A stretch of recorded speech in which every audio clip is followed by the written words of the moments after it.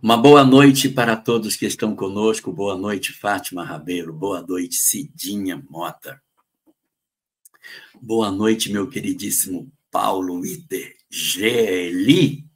Boa noite para você também. Boa noite para o Leonel Napoli. Meu Deus, tanta gente por aqui. Sejamos todos muito bem-vindos nesse nosso momento de estudo. É... Essa questão do nosso assunto de hoje, ele precisa que a gente trabalhe um conceito anterior, que é a arquitetura com a qual o nosso organismo foi construído dentro da edificação das nossas potencialidades físicas. Nós, quando falamos dos nossos sentidos, nós só nos lembramos de cinco, né? Visão, audição, olfato, tato e paladar, só cinco. Mas nós temos um outro sentido que é decorrente de uma faculdade orgânica, ou seja, sim, é um recurso que vive no corpo, chamado mediunidade. Eu sei que alguém já deve estar dizendo, não, no corpo não. Negativo. Não está no corpo. Por incrível que pareça, está, Jane, por incrível que pareça, o nosso corpo físico, ele possui dentro dele recursos para isso. Então, o que é que a doutrina espírita nos fala? A doutrina espírita nos diz que o nosso corpo físico, ele tem dentro do nosso cérebro um um dispositivo chamado epífise, que fica na altura entre os dois olhos e no centro da cabeça. Se você fizer uma linha na altura dos olhos e fizer uma linha no centro da cabeça, você vai bater exatamente onde está a epífise. Ela está muito bem guardada. Se nós fôssemos comparar o cérebro com uma caixa, ela está no centro da caixa. É essa glândula chamada epífise ou glândula pineal, que possui uma forma de pino, por isso chamada pineal, que tem a sede desse outro sentido, chamado mediunidade. Por que, que se diz que está no corpo? Porque está sediado numa substância física, corpo físico. A gente, quando se aproxima da doutrina espírita, tem muito a tendência de achar que a mediunidade ela não está no corpo, mas ela está. É uma predisposição orgânica da criatura e que, portanto, ela tem até componentes hereditários. E daí que nós poderíamos ter sido criados sem esse recurso, sem essa possibilidade de perceber o mundo espiritual. Nós estaríamos como que encarnados, encarcerados num corpo físico que não tem nenhuma janela aberta para fora. Então já não seria nem um cárcere, seria uma masmorra. Nós estaríamos trancados num lugar sem luz, sem janela, sem ar, em, encarcerados num lugar que não nos permitisse ter nenhuma visão do que acontece lá fora. A probabilidade de nós enlouquecermos de dor seria muito maior do que é, como nas condições que nós temos hoje. O que, que acontece hoje na nossa sociedade? Hoje, a gente tem a possibilidade de saber que, além das nossas potencialidades físicas, os cinco sentidos, nós temos também um sentido a mais, que é o nosso a nossa mediunidade, e através dessa mediunidade, em alguns maior, em outros nem tanto, que a gente consegue fazer é, uma conexão mais estreita com o mundo espiritual. Os que não são médios, os que não percebem o mundo que nos rodeia, os que não sentem a influência dos espíritos de forma mais direta, eles são até meio desconfiados se esses fenômenos existem ou não.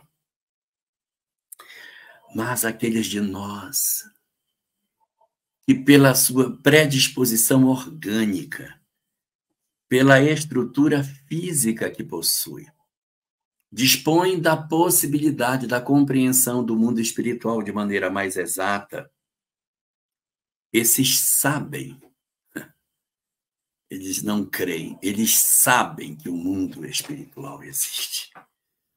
Porque os que são médiums, eles conseguem de maneira muito mais forte ter a compreensão da presença dos espíritos em derredor de nós. Sente a influência, sente as energias dos ambientes, sente as energias das pessoas. Consegue perceber quando está melhor, consegue perceber quando está pior. Consegue perceber quando está debaixo de uma pressão espiritual. Consegue perceber quando, de certa maneira, uma energia maravilhosa, uma emoção indescritível nos toma os corações e nos faz ter a nítida certeza de que a vida continua. Isso é maravilhoso pela possibilidade de nós podermos saber que os nossos entes queridos estão vivos,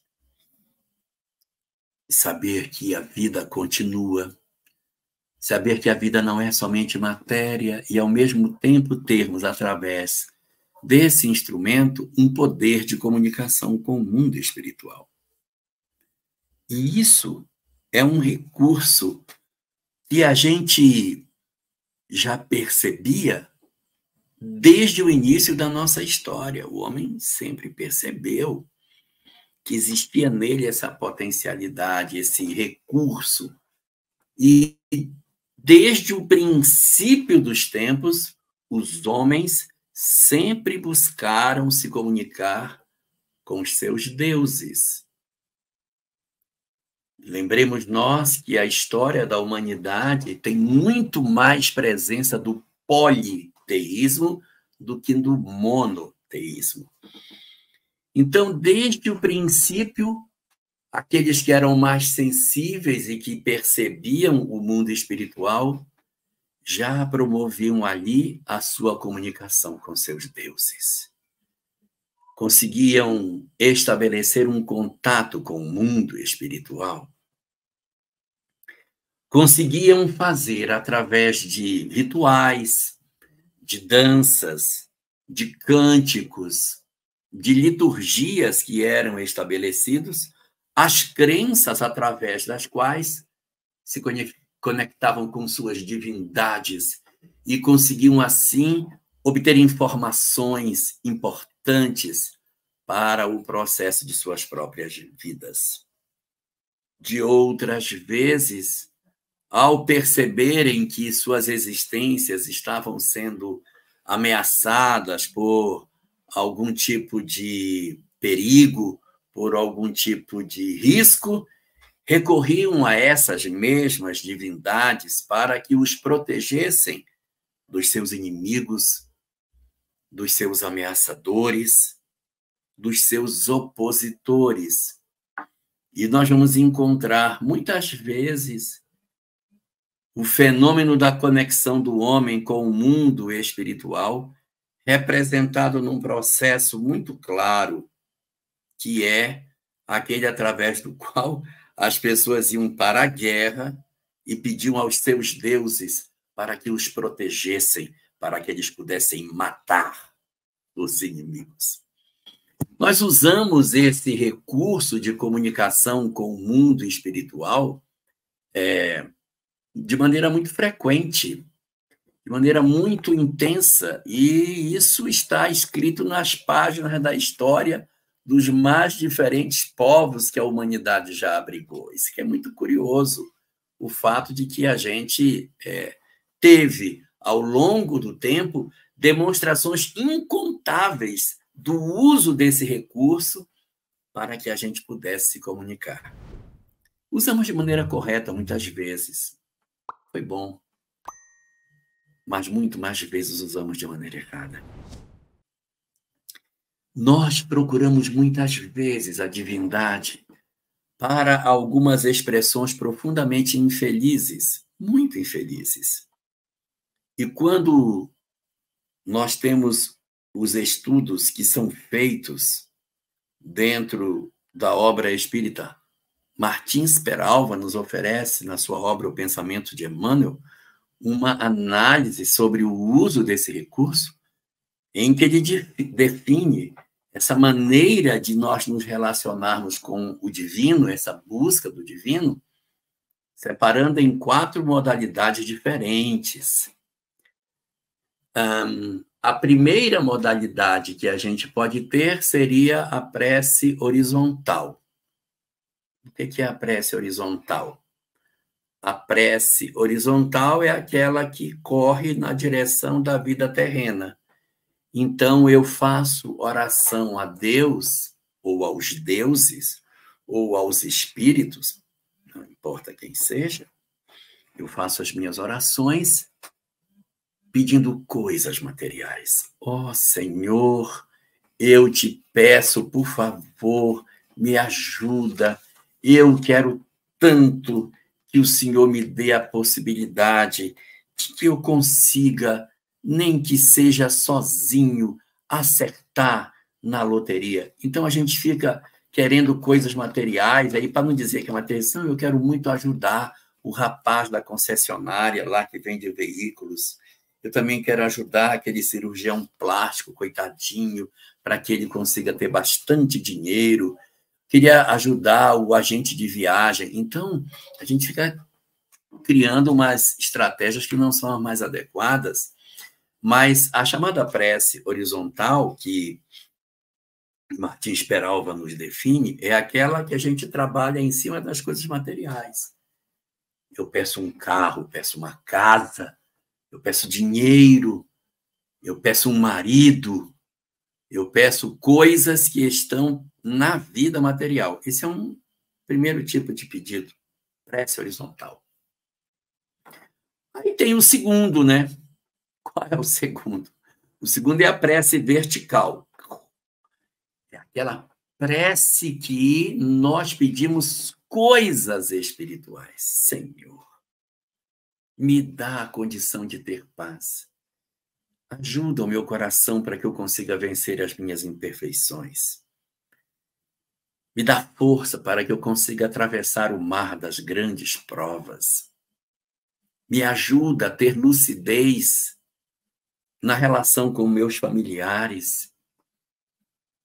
Promove na minha alma a mudança para que eu consiga reinterpretar minhas dores pelos olhos do Espírito. Então, a prece, chamada prece vertical, é aquela na qual nós não estamos preocupados com as coisas da matéria são preocupados com a coisa do espírito.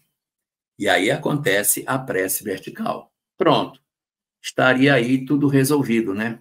Uma prece horizontal, interesses materiais, e uma prece vertical, resolvendo a questão. Só que ele abre outras perspectivas. Ele diz que existe também a prece inclinada.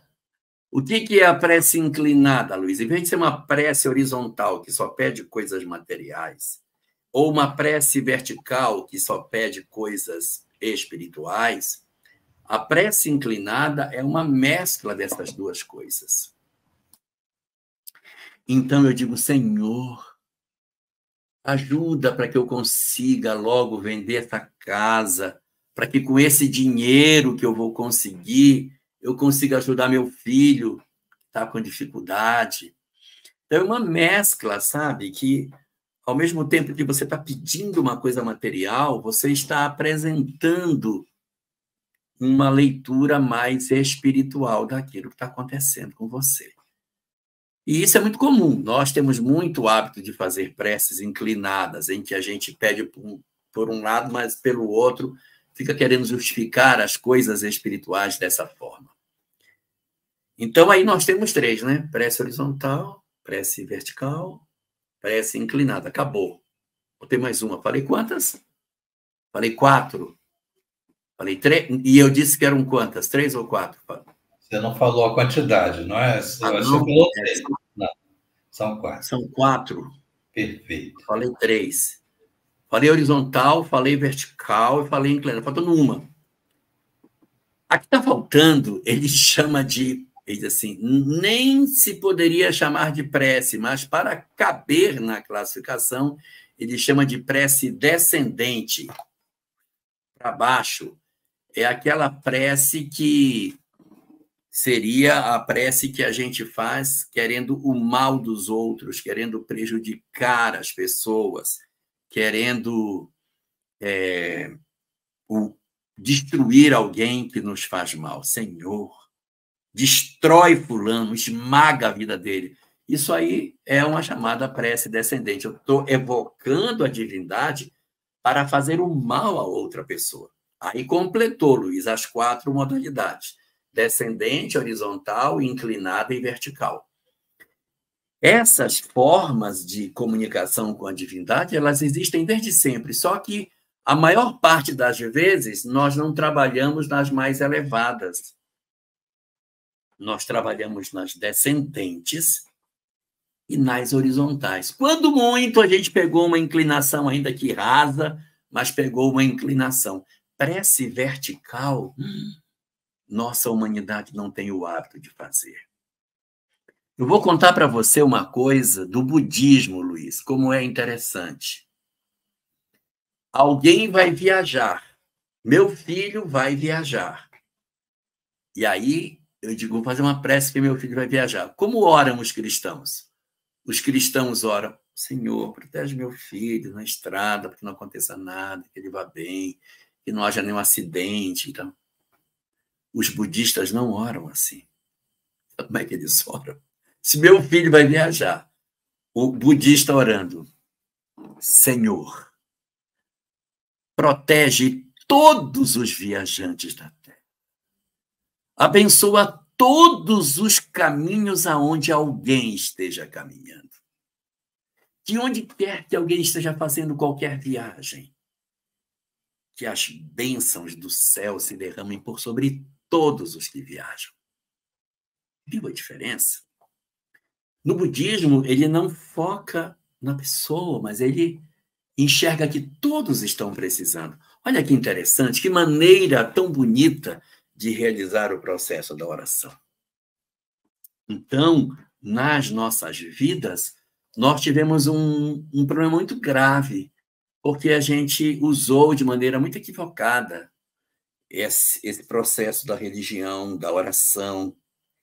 E isso foi produzindo um descrédito, sabe? As pessoas foram começando a desacreditar na oração porque as pessoas usavam de uma maneira muito absurda o sentido dessa comunicação com o divino. Houve um período na nossa história, lá na Idade Média, em que havia um negócio chamado juízo de Deus. Duas pessoas tinham uma divergência. A cerca do meu terreno é aqui. Não, a cerca é ali. Estão brigando pela cerca. Quem está certo? Bom, como é que vai saber quem está certo? Faz o seguinte: dá uma espada para cada um, porque Deus vai proteger o inocente. Chamado juízo de Deus. Então, o que era afrontado pelo vizinho, pegava uma espada, e se ele tivesse razão, evidentemente Deus não deixaria ele morrer, e aí, se ele morre, é porque realmente ele era o culpado, por isso que Deus levou o, o que foi para a querela sem ter razão. Então, você vê como a prece, como essa relação com o divino, ela foi muito equivocadamente utilizada, como a gente se atrapalhou com isso quanto de intolerância, o quanto de bobagem a gente fez nessa direção. Então, isso levou a um processo de descrença, até de ridicularização da fé, até de passarmos por uma fase em que as pessoas começaram a achar Ana Célia. Meu Deus, Ana Célia dia 15 de março, Ana Célia aqui conosco. Olha só a data.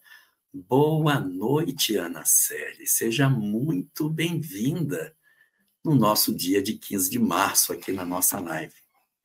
Então, o que que acontece? Lá durante um período, houve um, um, afastamento muito grande entre as pessoas, houve um apartamento entre os indivíduos em relação à fé. E por conta disso, as nossas vidas elas começaram a ter uma, uma demonstração muito clara. Depois a gente vai ver isso aí na hora das perguntas. Então, a gente começa a ver uma coisa muito clara, que foi a descrença com relação à fé. As pessoas passaram a ficar muito frias.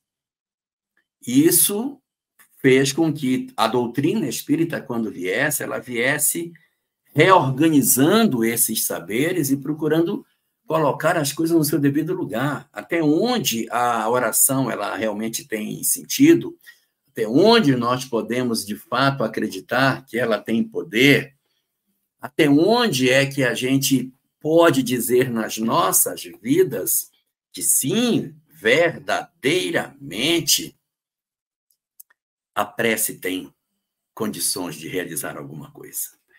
E ao longo desses anos de doutrina espírita, desses 167 anos que a gente vai completar agora é, de espiritismo, muita coisa se pôde construir ao longo disso.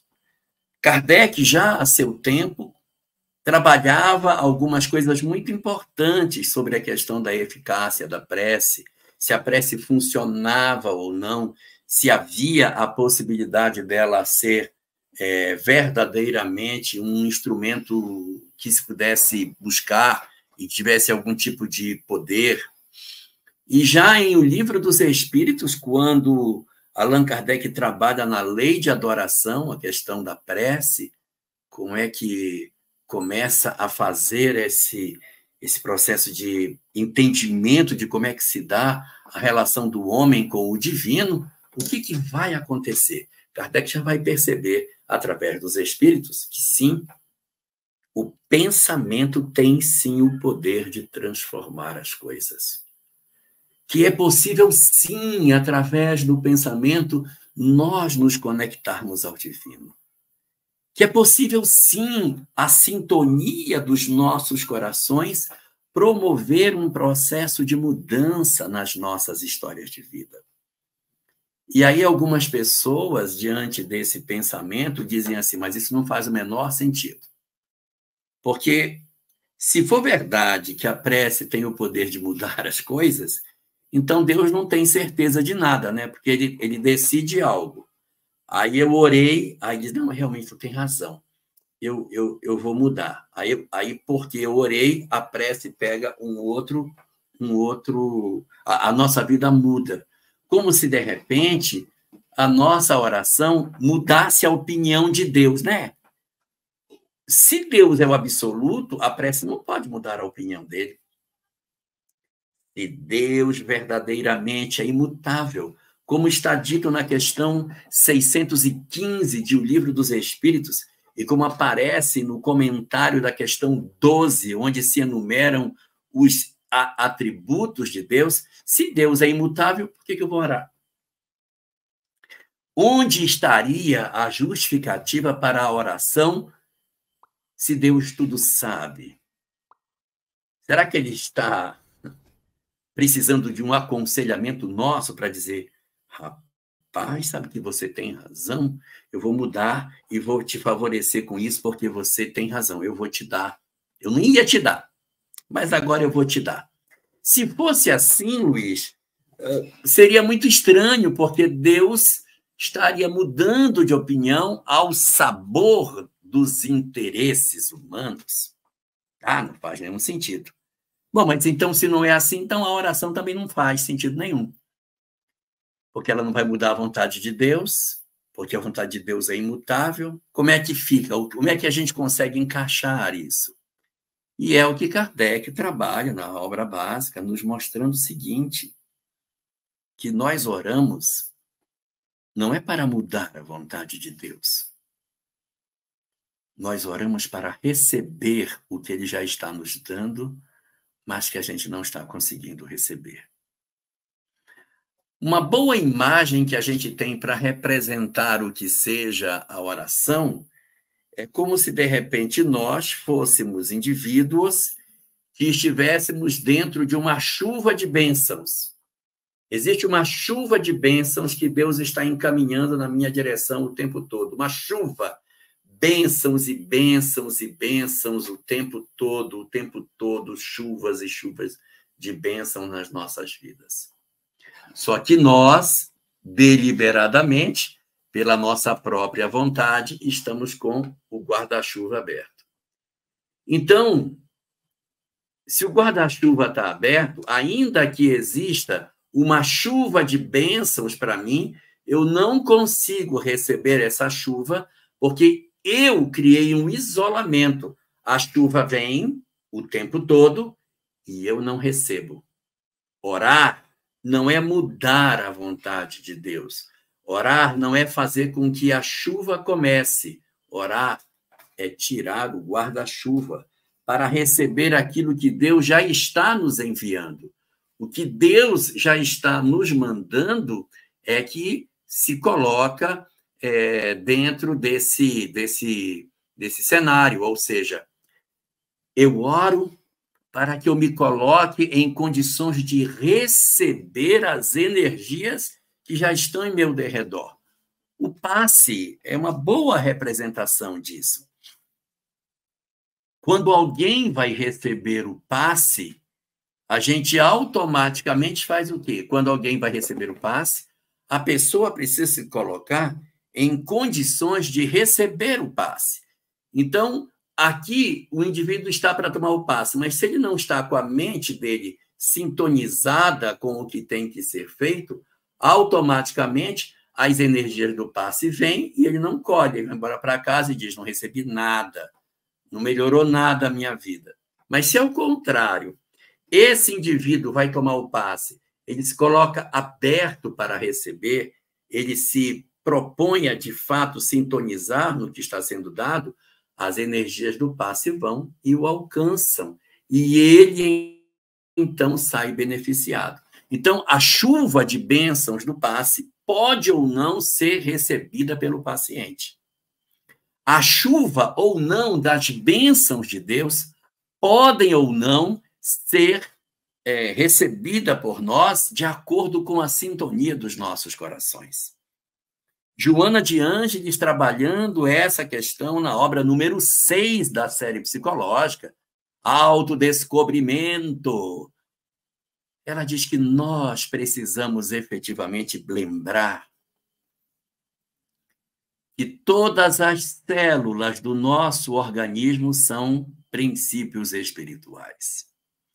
Quando eu odeio, eu transmito energias de ódio para todas as células do meu corpo que podem entrar em desordem. Elas podem adoecer, mas elas podem entrar em desordem genética, estabelecendo tumores e uma série de outras neoplasias, né? Então, a gente, quando se aborrece, quando guarda ódio, quando tem raiva, nós começamos a fazer com que as nossas condições orgânicas fechem, obliterem, fechem a possibilidade de contato com o mundo espiritual. E aí eu não consigo receber. E a gente vai perceber uma coisa muito interessante na obra de Joana de Ângeles.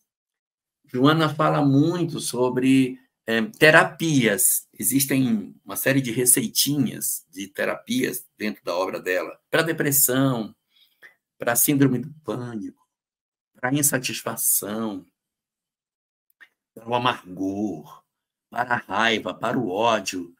Tem um monte, assim, para quem vive o sofrimento do ódio, uma receita, aí vem lá. Para quem vive amargurado, para quem sofre de solidão. A obra dela é cheia, lá e cá, ela está abordando um assunto, ela entra e mergulha, discute as questões e depois ela abre para que a gente possa, é, de fato, fazer essa, essa conexão dela com, com aquilo que a nossa vida pede em termos de saúde. Então, ela trabalha muito a saúde no sentido integral do homem. E ela vai falar muito isso, olha, em todas as receitas dela, em todas, todas. Ah, eu acho que eu já cataloguei umas 20, eu acho. Em todas elas, tem duas coisas que aparecem toda vez. Duas. Não, tem três coisas que aparecem em todas as receitas. A gente tem oito, dez itens, mas tem três que sempre aparecem. Um, meditação. Dois, caridade. E um terceiro chamado prece. Meditação, eu comigo. Caridade, eu com o próximo. E a prece, eu com Deus. E ela vai oferecer uma coisa muito interessante para nós. Aí vocês anotem, porque essa aí é muito boa. Ela diz o seguinte: e quando você estiver doente, que você fizer uma prece pedindo a Deus saúde, ela comenta lá: quando você pedir saúde, não peça somente a saúde. Peça a saúde dizendo o que, que você vai fazer se tiver saúde. Deu para entender, Luiz? Porque se, ó oh, Senhor, me faz andar de novo, porque eu ainda hei de chutar fulano que eu odeio, né? Então você diz assim, Senhor, me concede saúde para que eu possa ser útil, para que eu possa terminar de criar os meus filhos, para que eu possa ver meus netos crescerem, para que eu possa fazer uma história diferente, para que eu consiga agora é, perdoar Fulano. Então, associa um compromisso de serviço, um compromisso de mudança, para que, de certa maneira, movimente mais intimamente o teu ser para que você receba aquilo que a vida já quer lhe dar. Porque a vida quer dar. A vida quer dar. O problema é que a gente nem sempre quer receber aquilo que a vida quer dar. A vida a vida na verdade, ela tem ela tem muitas possibilidades é, para nos oferecer, mas a gente precisa, de certa maneira, ter a possibilidade de entender que a gente precisa fazer um movimento também. E esse movimento é o movimento que vai nos levar na direção de que a prece seja realmente mais eficaz. Hoje, atualmente, a gente já tem muitos acervos de informações diferentes. Nós temos o acervo oferecido por Kardec, na análise dos espíritos, quando falava de como é que funciona o mecanismo da eficácia da prece. Nós temos a contribuição de Joana de Ângeles na série psicológica, abrindo os nossos olhos para a necessidade de nós acerenarmos por dentro diante das circunstâncias. Eu estava ontem lendo um trecho da obra dela, capítulo capítulo 10, acho que é capítulo 10 da sexta obra, ela falando sobre a raiva. Ela diz uma coisa interessante sobre a raiva. Você tem raiva de alguém, tenha. Se tem raiva, tenha raiva. Não finja que não tem, tenha. Assuma que você tem e trate para não continuar tendo.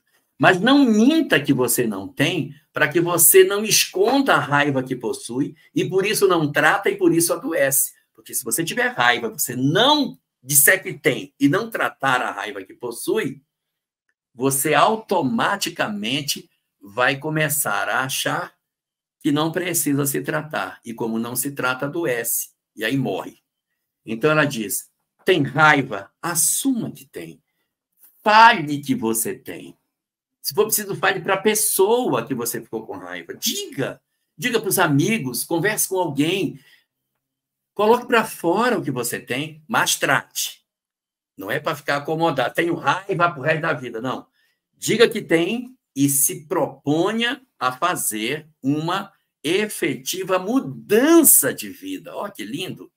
É um, é, um, é um, raciocínio que a gente nem sempre encontra na literatura espírita. Não tenha raiva, não guarde ódio, não se permita. Ela diz, permita, tenha, vá, sinta a raiva, mas saia da raiva.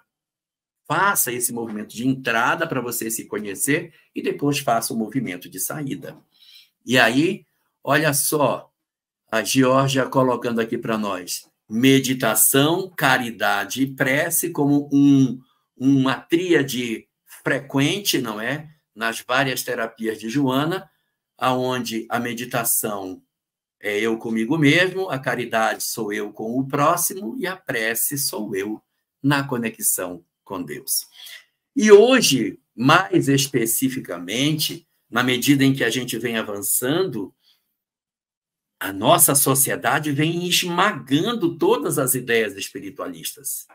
A gente vive um momento hoje muito difícil, mas o que é bonito, Luiz, é que de dentro desse próprio materialismo está, estão surgindo as, é, as experiências que vão comprovando que verdadeiramente a prece faz sentido.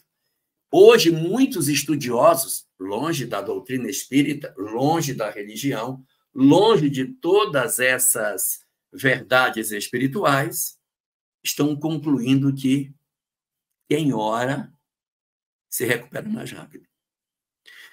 Quem ora, sara mais rápido.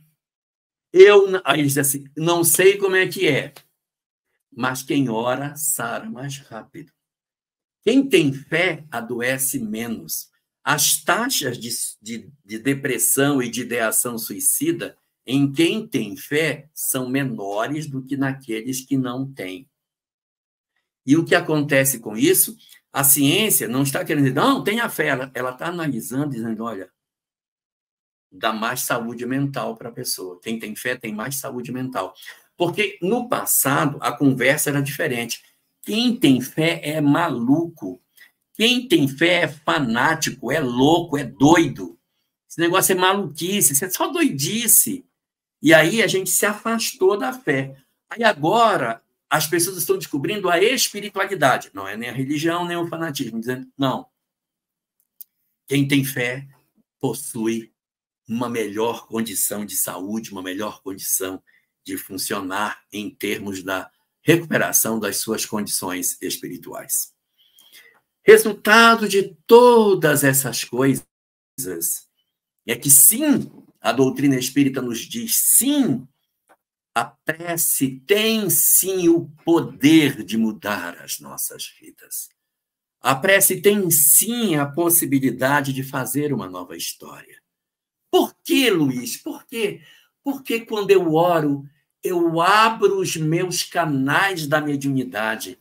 Eu é como se fosse uma flor que estivesse fechada. E quando eu oro, eu me desabrocho para receber as influências positivas por aquela janela da mediunidade. É por isso que ela tem poder. É por isso que funciona. Você passa o dia inteiro é, trabalhando, está no Banco do Brasil, carimba, não tem mais cheque, carimba nota fiscal, passa dinheiro, vê é, é, problema do banco o dia inteiro, passa o dia inteiro só falando de dinheiro, dívida, fulano pagou, não pagou, o caixa não fechou, cadê a duplicata? Nesse nesse ritmo de vida que a gente tem, aí você pega o carro, vem para casa, vai no trânsito, olha, o cara me fechou e tal, ônibus, corre. A gente vai como que fechando esses canais. Nós vamos um, nos, nos fechando para tudo isso, como se a gente amortecesse as nossas sensibilidades. É por isso que a gente precisa de um momento de oração. Porque na hora em que a gente começa a orar, e não é aquela oração mecânica que a gente faz, né? E a gente fala e o coração está longe daquilo que a gente está dizendo, a oração verdadeira, que envolve as nossas almas de fato, automaticamente nós começamos a sentir as energias que nos circundam, ideias que a gente não havia pensado a princípio começam a surgir. Porque, às vezes, a gente recebe uma notícia e é como se fosse atropelado. Meu Deus, eu não sei o que fazer. Eu não sei o que fazer. E a gente quer decidir no fragor da luta, sabe? Nesse calor das coisas. Não vale a pena. Emmanuel diz, meu pai adorava dizer essa frase, meu filho, a vida muda de minuto a minuto. E aí ela ainda botava a mão no ombro assim, Emmanuel, tá? Que você lê tanto. Porque meu pai não era espírita, mas gostava da leitura. Então, Olha só, Anacélia lembrando, é isso mesmo, Anacélia, vai blindando a gente, sabe? A gente vai perdendo. E não é só o dia a dia, é a casa que tem parede, que tem cimento, que tem telhado. Então a pessoa mora em Macapá, como ela, e aí mora dentro de uma casa, sai ali do Buritizal para ir para a Federação Espírita do Amapá, no meio do caminho, vai pensando em tanta coisa, não para, não sente, não, é, não, não se emociona com a natureza, a gente pode ir se fechando, e isso é muito perigoso. Então, existe sim na prece um valor muito importante. Mas aí, considerando aqui o nosso adiantado da hora, eu quero só dizer algumas coisas sobre a questão da prece para a gente poder fechar. É o seguinte: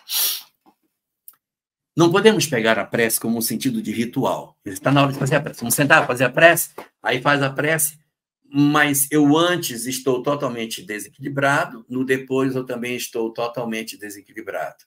Eu só faço minha concentração durante a prece. Não é o desejável.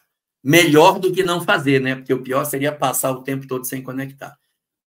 Mas o ideal é que a gente procure ter uma conexão fora do momento da prece. Ah, mas eu não sou carola, não sou fanático para passar o dia inteiro orando. Não precisa. Precisa apenas que a gente tente manter a sintonia com o bem. Sintonia. O que é sintonia com o bem? Tomar as decisões baseadas no conhecimento espiritual que a gente tem. Vai tomar uma decisão no trabalho, eu tenho que demitir uma pessoa. Demite com humanidade. Demite com humanidade. Porque eu posso demitir humilhando e posso demitir com humanidade. Demita com humanidade. Você vai ter que tomar uma decisão. Tome a decisão pensando para o bem de todos. Não permita que haja uma desconexão. Olha, a Isabel está falando aqui que ela gosta de orar na janela à noite, olhando para o céu. Ah, isso é lindo, Isabel. E se, se você morar num lugar que seja pequeno, que dá para ver as estrelas, oh, e é lindo demais, de doido. Então, a prece, ela sim, sim, sim, ela tem esse verdadeiro poder de conexão. O que nós não podemos fazer, Luiz, é conceder à prece o poder milagroso de mudar aquilo que nós devemos fazer. A gente ora para que a nossa mente registre novas ideias, mas somos nós que deveremos fazer. Nós não devemos orar para querer que Deus resolva as coisas, porque quem tem que resolver somos nós. A gente vai receber as intuições, as ideias, as sugestões do que fazer. Mas não, querem, não devemos pensar que, quando eu oro, Deus comparece na minha vida, igual aquele programa, o Luiz sabe o que é, você não sabe que vocês são muito novinhos. Só a Ana Célia aqui é que é capaz de saber o que eu vou falar. Que é a feiticeira, aquela série de televisão, ela mexia o narizinho assim e a casa toda se arrumava de uma vez, uma, logo só de uma vez. Ou a Dinha é um gênio que piscava o olhinho, pam, tudo se arrumava. Não é assim que a prece funciona. A prece nos sugere, a prece nos abre para isso. Emmanuel tem uma frase muito boa que eu gosto muito. A prece funciona como a lâmpada que se acende num quarto desarrumado. A lâmpada não coloca nada no lugar, mas mostra o serviço que a gente tem para fazer. Em síntese, meu querido Marcão, é fundamental manter-se em prece para que os nossos corações estejam serenos, porque golpes da vida nós receberemos todos os dias. E se nós estivermos tranquilos, os golpes virão, mas a serenidade interior vai fazer com que a gente tranquilamente Olha, a Patrícia Bicho, a mãe dela falou para ela que era a Samanta. Olha aí, a Patrícia, ou a avó dela contou para ela, né? Então, quando a gente ora, nós nos mantemos num outro padrão. E os naturais embates que a vida vai ter, porque não tem como a gente atravessar a vida sem passar por desafios, quando vier, se eu estiver em prece, eu terei melhores condições para dar a melhor resposta para os meus problemas. Mas é isso aí, meu querido Luiz. Vamos seguindo. Se dependesse de mim, eu ia ficar falando umas cinco horas aí direto, sem cansar. mas não depende de mim, você tem compromisso. Tua fala é maravilhosa, como todo mundo está elogiando. Eu também sou seu fã de carteirinha. Outro dia eu estava assistindo na Rádio Rio de Janeiro. Você adotou uma moça, né? Tu adotou uma moça espiritualmente. Ela estava tão feliz. Ela estava fazendo uma palestra. E ela disse assim: ah, quando eu conheci o Jorge Alahá, ela nem era espírita. E ela disse, quando eu conheci o Jorge Alahá, foi numa, numa reunião. Ele chegou lá com aquela fala encantadora dele me convenceu a ser espírita. Caramba! Eu não vou falar aqui o nome porque você sabe quem é. Mas olha só, é, antes de fazer a pergunta, tem uma, tem uma, uma charge aqui que diz assim: o poder da oração muda o que não está, não está no alcance humano. É verdadeira essa frase, meu querido irmão? Olha, ela, ela, tem assim um sentido que a gente pode buscar na ressurreição de Lázaro, né, Luiz? Sim. Lembra na ressurreição de Lázaro que Jesus chega na porta do túmulo e vira-se para os homens e diz para eles: rolai a pedra. E na frente do túmulo tinha uma pedra redonda, parece uma bolacha Maria, que eles uhum. usavam para fechar o túmulo. Aí os homens começam a fazer força miseravelmente tiram a pedra da frente do túmulo. Aí Jesus diz: Lázaro, sai, e o Lázaro sai. Aí vem a pergunta: por que, por que Jesus não fez logo tudo uma vez? Né? Era mais bonito. Pã, e a pedra gira e ele tira Lázaro. Por quê? Porque não fez tudo. Porque a pedra estava ao alcance dos homens. Os homens podem rolar a pedra? Podem, então rola. Os homens podem ressuscitar Lázaro? Ainda não. Então Jesus ressuscita. Então, aí, quando fala que a oração faz aquilo que os homens não podem fazer, é uma, até uma, uma licença poética dentro disso, mas é, a gente tem que observar que o que a gente consegue com a oração é movimentar a lei de causa e efeito dentro da nossa faixa de mérito a nosso favor. Eu tenho, por exemplo, uma expectativa de mérito. A minha expectativa de mérito minha expectativa de mérito é essa aqui. Ó. Eu tenho essa expectativa de mérito, é o que eu tenho. Só que, como eu não oro, eu pego a parte mais dura da lei. Mas, na medida em que eu tenho uma oração, eu posso receber uma parte mais doce dessa mesma lei. Dentro dessa faixa, tudo pode acontecer comigo. Eu posso oscilar pelo meu livre-arbítrio de um canto para o outro. Então, é aqui que entra a oração. A oração na sintonia que nós fazemos e que diz vale a pena apostar. Esse, esse você pode oferecer. Vai corresponder, vale a pena. Obrigado, meu irmão. Então, Marcos, manda a primeira pergunta. Jorge, você se lembra qual a live que você falou sobre o Evangelho que foi traduzido por pastor, pastorino, por gentileza? Eu acho que ela quer para pesquisar. Hum. A Isabel. Olha, Isabel. É, eu, eu não lembro porque deve ter sido uma coisa diferente que eu falei, que é o seguinte. Existe uma obra de Torres Pastorino chamada A Sabedoria do Evangelho, que tem nove volumes. Sim, eu disse nove, tem nove. A gente acha na internet oito. Como é que faz oito? A gente acha oito. O nono volume eu vi uma vez, eu vi uma vez, mas eu via manuscrito com a letra dele. É, ele tinha feito, mas faltava as correções, ele fazendo umas anotações. Eu peguei, eu vi a Xerox. Disse, Nossa, que maravilha isso! Eu nunca vi o nono. É, o nono é a parte final dos evangelhos. Então, esse livro, chamado A Sabedoria do Evangelho, é, no meu entendimento, a melhor interpretação dos evangelhos que a gente tem.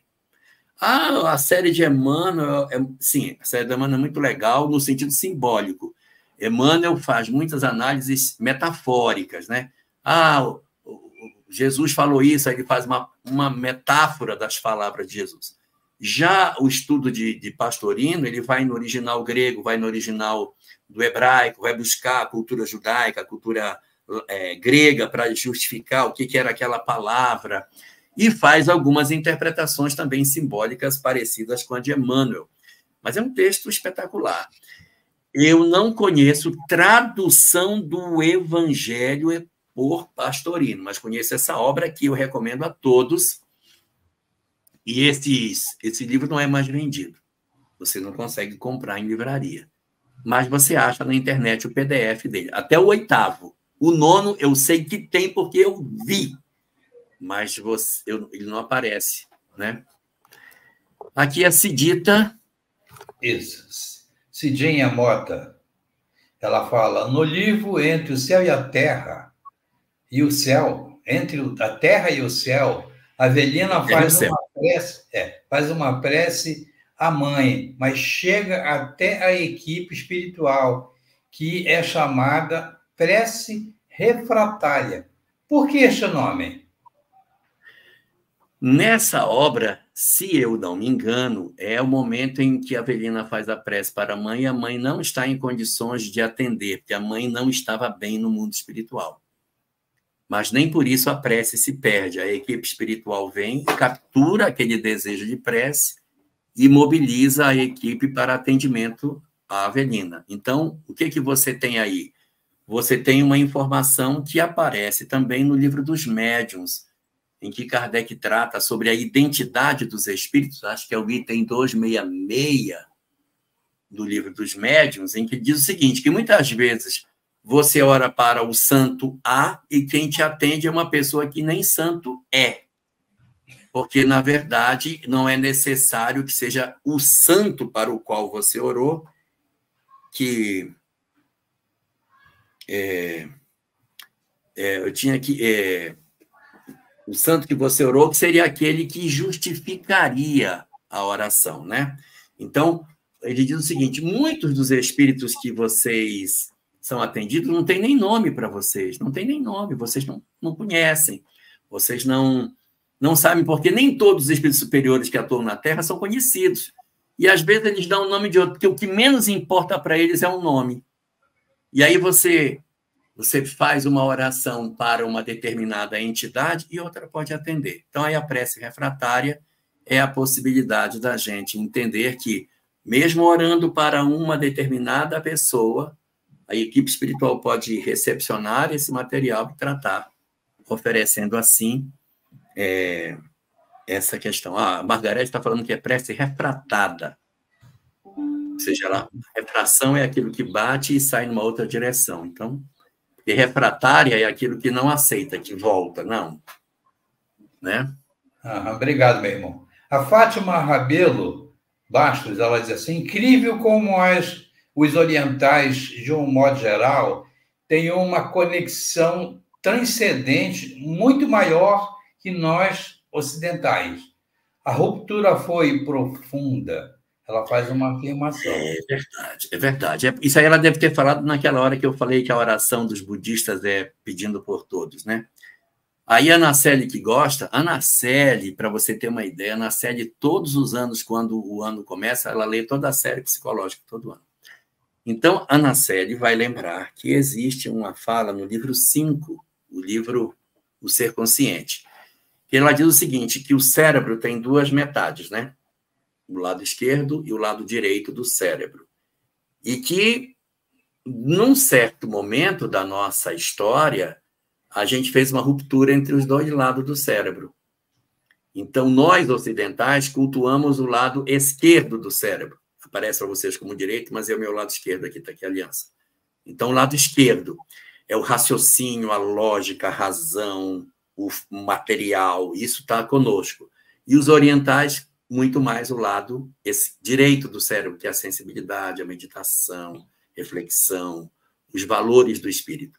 E o nosso mundo está apartado. Um lado, do, um hemisfério do mundo tem uma verdade, o hemisfério do mundo tem a outra verdade. O hemisfério do cérebro tem uma verdade, o hemisfério do cérebro tem a outra metade. Então, é preciso reconectar a ponte, a ponte entre os dois hemisférios, tem uma ponte ligando, e ela diz que a ponte que liga os dois hemisférios chama-se meditação. É o que conecta as duas metades. Obrigado, meu irmão. Ah, o Gustavo Xerez, ele diz assim: como é de fato o processo de meditar. Já assisti tanta coisa diferente sobre isso que já não sei mais. Começo e é, começo e mudo a forma de fazer. Daí não mantenho a regularidade. Ele está fazendo uma pergunta. É. Olha, Gustavo, os orientais têm uma maneira muito particular de fazer as suas orações, as suas meditações, né? Como que os nossos orientais fazem? Eles têm uma postura corporal, posição de lótus, né? Coloca aquele dedinho assim, né, para fazer, é, para meditar. Muitos de nós já estamos com as dobradiças tudo enferrujado, não tem mais nem como dobrar a perna daquele jeito para poder sentar, né? Então, a gente tem é, dificuldade de manter essa postura. Isso os orientais fazem. Mas não é necessário uma postura física definida para meditar. O que é importante para meditar? Ir para dentro. Então, a gente pode meditar no ônibus, na hora que você encosta a cabeça naquele vidro que não para de tremer, e você fica pensando na sua vida, analisando sua vida, você pode estar fazendo um processo de meditação. Quando é que a gente medita, Gustavo? Todas as vezes que eu paro para analisar a minha conduta, paro para me analisar, para pensar em mim. Isso é meditar. Então, meditar não é eu estar na coisa assim, bem, eu, raiz quadrada de 2 é 1,41, 42, 63. Então, se eu colocar raiz quarta de 2, isso aqui vai dar quanto? Então, não é, isso não é meditação. Meditação é eu parar para pensar em mim. É eu analisar a minha vida. E eu vou dar aqui rapidinho sete formas de você fazer esse, essa busca interior. É rápido, Marcos, eu prometo. Forma número um. Santo Agostinho fala na questão 919A de O Livro dos Espíritos. Você para e pensa, reflete o seu dia, verifica se você fez tudo que deveria ter feito. Se deixou de fazer alguma coisa, se tem alguém que teria o que reclamar de você. Então, repassa o teu dia e vê se alguém tem alguma coisa, se alguém reclamou de você, se alguém falou mal de você, se você fez todo o bem que poderia ter feito. Essa é a primeira. Número dois. Se você tiver dúvida se você agiu certo ou não, você tira você da cena, coloca outra pessoa fazendo o que você fez e você, como uma figura externa, olhando aquela pessoa fazendo o que você praticou e você vai avaliar se o que aquela pessoa fez era certo ou não, porque pode ser que essa pessoa é, essa pessoa faça uma coisa que você diga não, estava certo, sim, estava tudo correto e no fundo não estava. Existe uma ferramenta de defesa do ego chamada racionalização, que é quando eu justifico o erro como sendo certo. Digo, não, mas aí com a minha mãe era, eu, tinha, eu tinha que empurrar mesmo ela, não tinha, tinha que empurrar, não tinha esse negócio, não. Então, eu justifico o erro falando assim. E aí, quando eu vou fazer a minha meditação, eu digo, não, eu tinha que empurrar mesmo. Então, faz o seguinte, sai você imagina outra pessoa empurrando sua mãe. O que, que você acha? Se você visse, você achar certo ou errado. Então, essa é a segunda forma. Você não é você, mas é uma outra pessoa fazendo. Terceira forma de você se autoconhecer. Passe o seu dia verificando os seus gatilhos comportamentais. Veja no seu dia o que foi que fez você se aborrecer. Quando foi bem aqui, quando a pessoa fez hum, com a boca, eu me irritei. Então eu me irrito quando alguém mexe a boca e faz. Hum. Descobrir quando é que eu me irrito, quando é que eu perco a paciência, o que, que as pessoas fazem que aciona os meus gatilhos. Isso também é meditação. Quarto, preste atenção no que as pessoas dizem de você. Ouça os comentários e não rebata. Quando disserem que você é alguma coisa, acolha e diga: olha, tem muita gente dizendo que eu sou nervoso, que eu sou ansioso, que eu sou impaciente, que eu sou impro, que eu, que eu deixo tudo para depois. Então você vai ouvindo e vai trabalhando isso para se autoconhecer. Quinta forma, você pega e generaliza a sua, a sua, a sua ação. Você imagina todo mundo no planeta fazendo o que você faz. Se você achar e ficou melhor o mundo com todo mundo agindo como você age, então é porque sua ação era boa. Se o mundo piorar, é porque essa ação era uma ação ruim. Sexta forma de você também se autoconhecer. Eu já dei, já dei cinco, ou já dei quatro, né? Repassar o dia. Segundo, como ver se o que eu fiz foi colocar outra pessoa no seu lugar, tá certo? Terceira, observar os seus gatilhos emocionais. Quarto, considerar o que os outros dizem sobre nós. Cinco, generalizar as nossas ações, tá certo? Generalizar aquilo que eu faço. Uma sexta maneira que a gente tem também de se autoconhecer é quando eu, dentro da minha existência, eu começo a prestar atenção nas coisas que mais se repetem. Quais são as pedras que eu mais tropeço? Quais são as coisas que acontecem com tanta frequência? Já estou eu de novo na mesma confusão. Puxa vida, de novo eu estou na mesma história. Isso é para a gente se autoconhecer. E a última, se nada der certo, você tira você, bota Jesus no seu lugar e pergunta: se eu estivesse lá e Jesus estivesse do meu lado me vendo fazer, eu faria o que eu fiz? Então, essa é a forma da gente, é a gente meditar.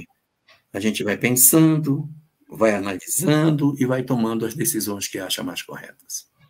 Obrigado, Jorge. Deixa eu falar. Nós estamos 11 minutos para responder as perguntas, que vai até 2050. Tem, Sim, eu acho que tem. Quantas perguntas, Marco? Tem, tem 14, eu acho. Eu, eu vou responder. Tem 15. Fecha a entrada delas e eu vou responder todas. Não entra mais nenhuma, eu vou responder todas. Entendeu, Marcos? É, Cleiton Ribeiro diz assim: devemos visitar nossos entes queridos no cemitério? Os nossos entes queridos não estão necessariamente no cemitério, não é? Não estão, porque os espíritos não ficam presos à sepultura.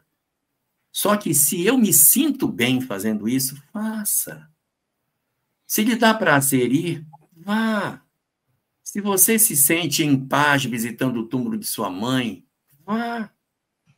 A gente não pode considerar que é, pelo fato de o espírito não estar tá lá, a pessoa está proibida de ir. Se você se sente bem, vá.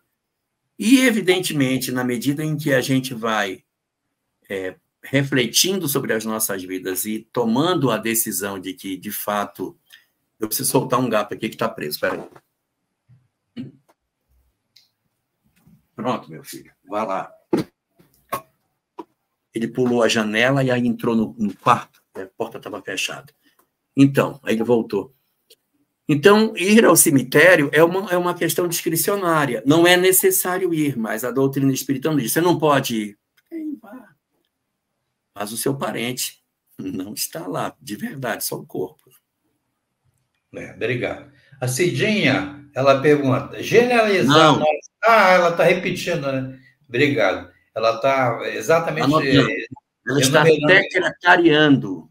Ela é terrível. Eu já observei que ela te ajuda pra caramba. É, né? Magali Canuto diz, professor, como é recebida a prece quando se pede algo que ainda não se perdeu? Ou seja, o fortalecimento da fé, da saúde, da paciência, etc. Para os momentos vindouros. Olha, Magali, todas as nossas orações, elas são sempre muito bem-vindas. Mas é muito importante observar que quando a gente pede a Deus virtudes, ele não tem como aplicar uma injeção de virtude em nós. A única forma que Deus tem para nos oferecer virtudes é nos dar experiências que desenvolvam essa virtude. Então, se, por exemplo, eu quero paciência, o que, é que ele vai fazer? Exercícios de paciência para que ela fique mais robusta. Se eu quero que a minha fé se fortaleça, exercícios de fé para que eu me fortaleça. E a gente só desenvolve a fé nos embates que a vida possui. Mares tranquilos não fazem bons marinheiros.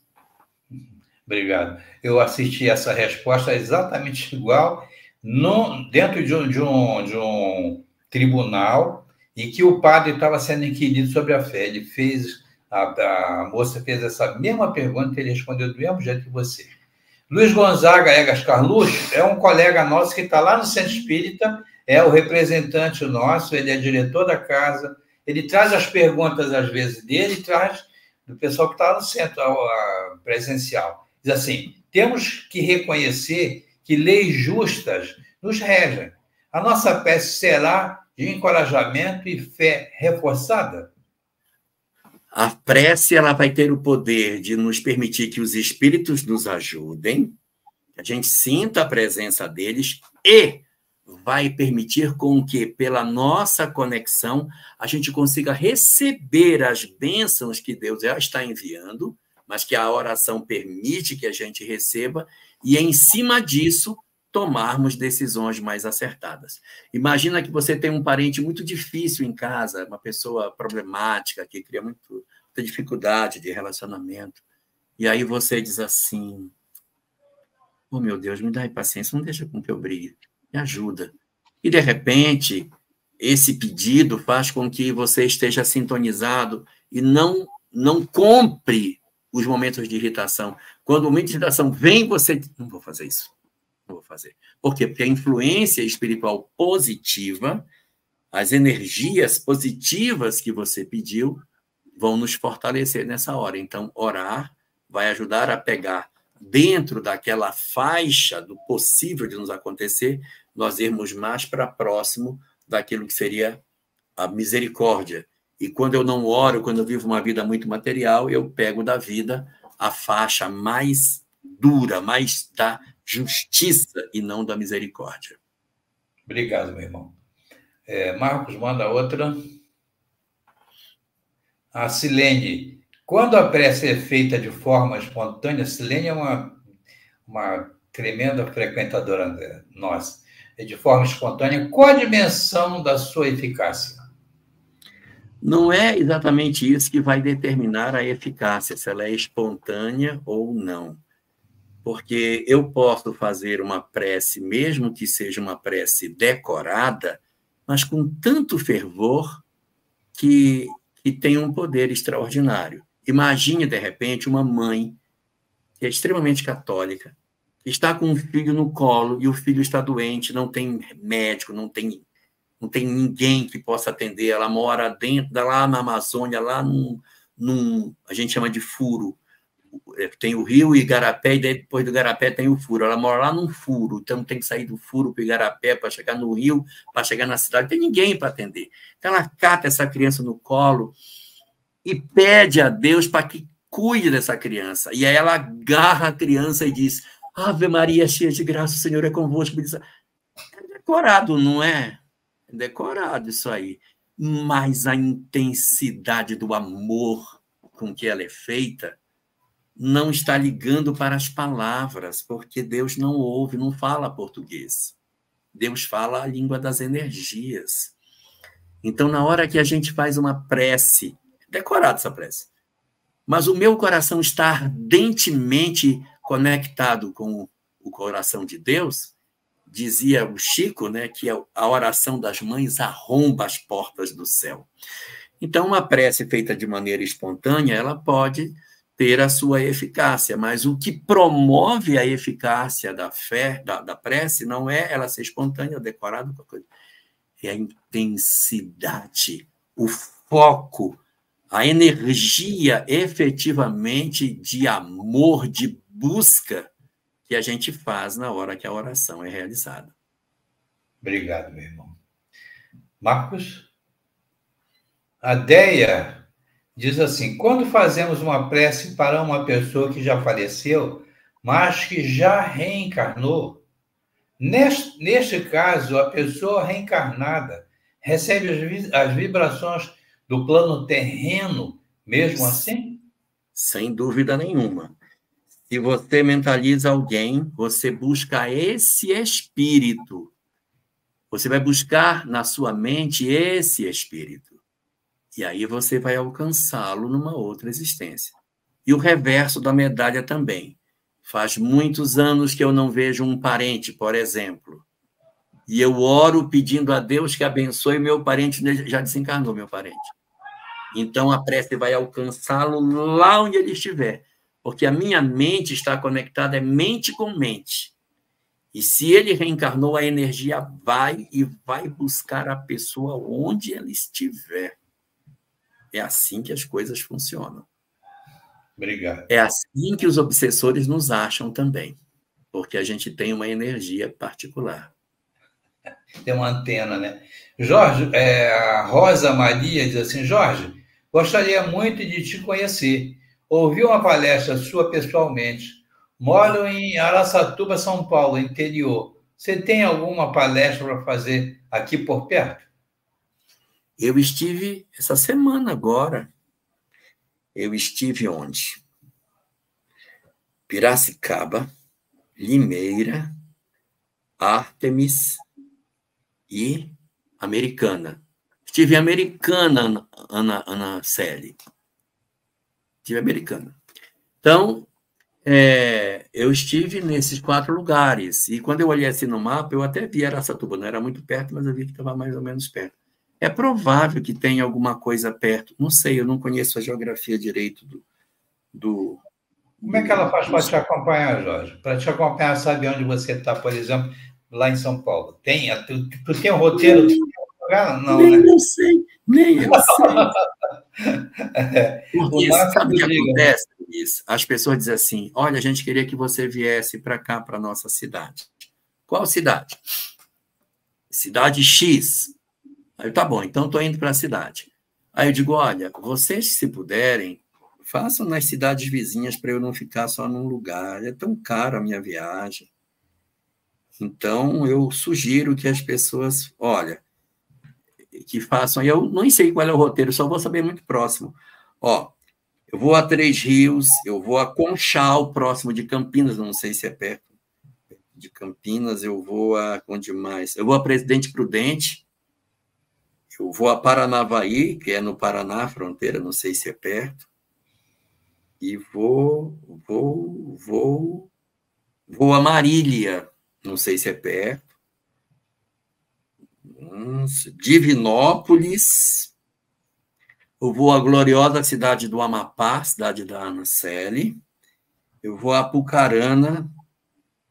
Vou a Bertioga vou a São José do Rio Preto e vou a Santa Gertrudes. Esse é o que eu tenho perto da é, perto daí da do, região aí do São Paulo. Não posso dizer para você que eu não sei. Tá bom. Marcos, você quer falar alguma coisa? 51. Não, só tem aqui um, um complemento aqui daquela pergunta anterior. Deixa eu ver se eu localizo aqui que é falando sobre a questão do cemitério. Deixa eu ver se eu uhum. localizo ela aqui.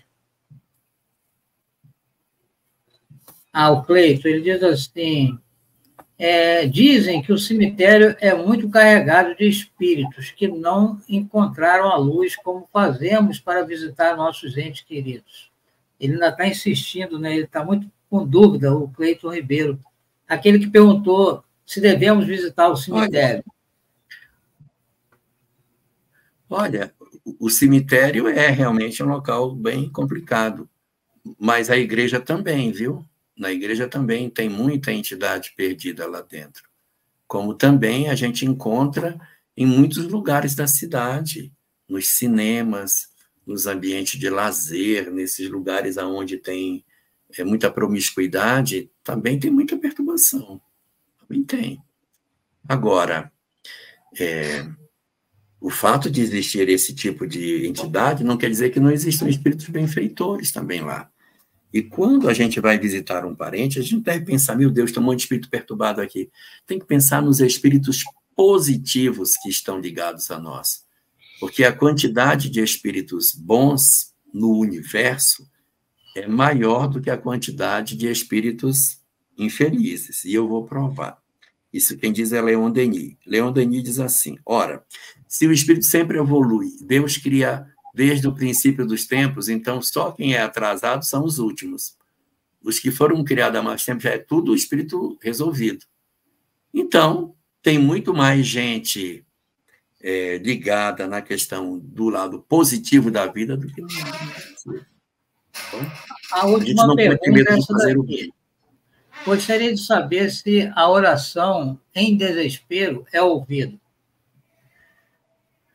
É ouvida, é ouvida, mas de maneira diferente, porque é ouvida a necessidade, o, o chamado e atendido o chamado, mas não aquilo que diretamente é, comentado como acontece. É, hospitais também são. É, não é como, por exemplo, uma oração que você faz dentro de um quadro de harmonia, que as suas palavras conectam você com o espiritual. Não exatamente assim.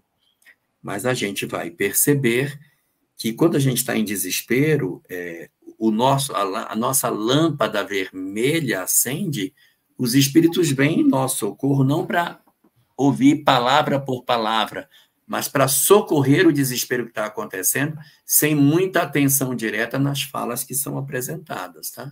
Então, a oração do desespero, ela é mais uma, um, uma luz que se acende chamando, mas não algo que você diga, olha a palavra que foi usada, porque no desespero a gente às vezes fala até bobagem, sabe? Marcos, agora... Jorge, devido ao adiantado do, da hora, né, a gente já gostaria que você é, partisse agora para as considerações é, finais e logo em seguida fizesse a nossa prece de encerramento, pode ser? Tá bom. Olha, em termos de considerações finais da nossa live de hoje, eu só queria destacar aqui um ponto que eu considero fundamental.